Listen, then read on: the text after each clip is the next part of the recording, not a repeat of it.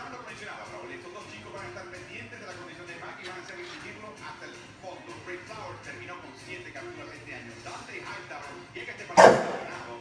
Y este grupo no es especialmente veloz. Podría ser un problema para New England.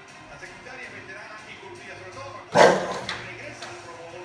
La primera vez fue en el 2010 como esquinero jugando otra posición. Así que ha estado en el partido estrella de la NFL en dos posiciones distintas. Tercero y cuarto. Jump on